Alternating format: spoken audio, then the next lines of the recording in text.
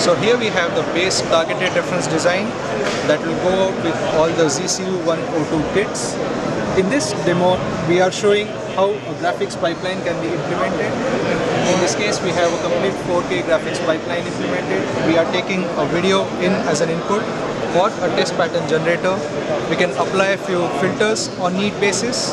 In this case, we are applying a Sobel based uh, vertical detection filter or a, a vertical edge detection filter, uh, sharpness filter and few others.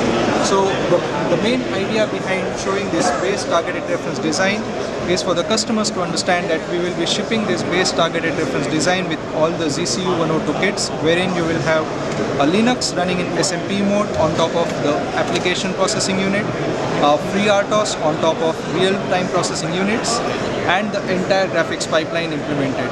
So you have all the blocks, the display uh, pipeline implemented, uh, the graphics implemented and there you can start working on it right away.